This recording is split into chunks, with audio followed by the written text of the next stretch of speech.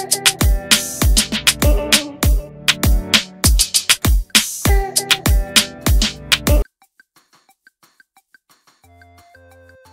ฟนคลับแฉนักร้องดัง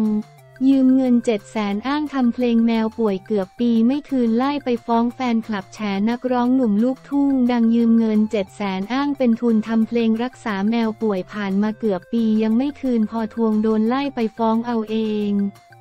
วันที่ 5 พฤศจิกายน 66 นางสาวเดีย นามสมมุติ อายุ 37 ปี เจ้าของร้านส้มตำแห่งหนึ่งในตัวอำเภอนางรองจังหวัดบุรีรัมย์ซึ่งเป็นแฟนคลับนักร้องหนุ่มลูกทุ่งชื่อดัง